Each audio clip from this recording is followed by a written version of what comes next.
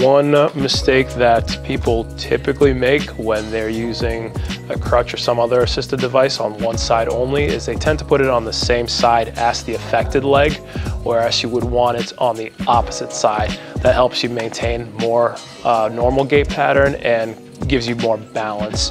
So in this situation right here, my left leg would be the affected side. As I'm walking, the crutch again is gonna go with the affected leg.